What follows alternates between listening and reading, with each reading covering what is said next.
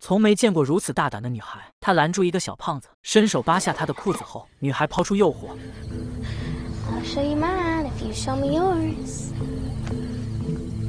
小胖子眼睛都看直了，立马扯下了内裤。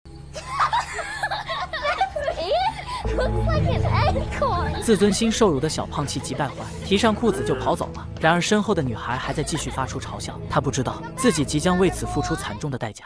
第二天，女孩在空无一人的小路上骑车，可她越骑越不对劲，树林里仿佛有人在正盯着自己。当她一转，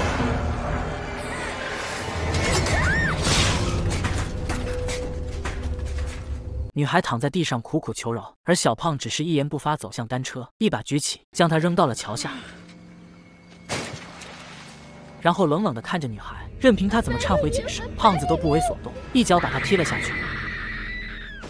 他看着桥下的尸体，眼里没有一丝怜悯。一个变态魔鬼就此诞生。转眼多年过去，小胖成了一个资深技术宅。因为小时候留下的自卑阴影，小胖一直不敢交女朋友，只能用充气娃娃来代替。除此之外，他还疯狂迷恋于看美女直播，甚至将他们的头像打印出来，和自己的贴在一起。这天晚上，直播平台上来了一个新主播凯莉。她与其他女主播不同，拥有性感火辣的身材，脸蛋却格外的清纯甜美，一下子就击中了小胖的心。他反复回看凯莉的绯闻，然后定格画面打印出来，将墙上的女主播头像全部换成了凯莉。他势必要得到这个女人。女主播强忍着羞涩，按照对面客户的要求，一件一件的脱掉衣服，直到整个身体被一览无遗。这是个成人付费的直播网站，所有美女主播住在一起，别墅里到处都是三百六十度无死角的镜头，而他们无论是睡觉、洗澡还是做运动，全部都会二十四小时直播出去。凯莉是这里新签约的主播，只见她解开衬衫领口，对着镜头缓缓扭动身体，表情动作极尽妩媚。很快，直播间里的人数就已经爆满，而这个胖子更是被深深吸引，无法自拔。他看着正在洗澡的凯莉，忍不住深情抚摸。而为了能和凯莉聊骚，胖子花重金包下他的私人直播间。为了让胖子打赏更多礼物，凯莉对他各种夸奖，还认为胖子一定很帅，自己很喜欢他。却不知电脑前的小胖十分紧张，因为他一直对自己的外貌感到自卑，但还是没忍住给凯莉发了自拍。凯莉一开始被吓了一跳，可出于职业素养，她还是违心的夸奖胖子很帅。然后看见男友发来的约会短信，便急匆匆的离开了聊天室。胖子第一次遇见不嫌弃自己长相的人，这令他更加迷恋凯莉，甚至打造了一个凯莉模特，每天抱着狗啃。可这天，胖子再次进入直播间，想找妹子聊天，却偶然看到自己发的自拍照。放大一看，上面竟然还写着骂自己死胖子的话。一瞬间，胖子的自尊心又被狠狠践踏，他非常生气，急于发泄。突然，心中浮现出一个可怕的想法，他通过入侵网站找到了凯莉做直播的基地。这一刻，他的眼神变得十分变态。这个美女穿着短裙，却大胆地张开腿坐。殊不知，一个胖子正死死盯着她的裙底。美女发现胖子的目光后，开始对他人身攻击。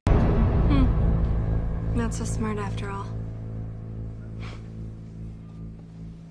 一向自卑的胖子气得直哆嗦，他赶紧回家登录账号，找自己深爱的女主播寻求安慰，却没想到自己发过去的照片被他贴在了墙上，上面写满了对他的无情嘲笑。这下胖子更加生气，为了报羞辱之仇，他入侵网站，找出凯莉所在的色情直播基地。胖子戴着面具，硬生生用门夹爆了保安的脑袋。随后跑进女主播的房间，趁这个妹子还没反应过来，上去就用绳子把她给勒死了。另一个房间里，女主播正在和小伙聊骚，男孩发现了身后戴面具的胖子，赶紧发信息提醒，可已经来不及。在男孩的注视下，女主播被胖子折磨致死。接下来是沙发上的一对男女，胖子一拳打倒男人，然后拼命将他的头撞墙，直到男人没了呼吸。而床上的女人也被他用胶带封口，活活憋死。房间里，凯莉刚好看到这一幕。此时的别墅就只剩下他一个人。他跑到地下室，关掉电闸，躲起来，开启摄像机的夜视功能。什么都看不见的胖子举步维艰。凯莉趁机将尖锐的木棍插进了胖子的身体，可胖子还有力气还击。他用力掐住凯莉的脖子。危急时刻，凯莉拿起一旁的摄像机砸过去。直到胖子被砸得血肉模糊，凯莉才敢停下手。胖子最终还是死在了自己最爱的女人手里。电影《女孩闺房》告诉我们，永远不要嘲笑和欺负别人。你的一句玩笑嘲讽，也许会给他人带来一生的伤害，也许会让自己付出惨重的代价。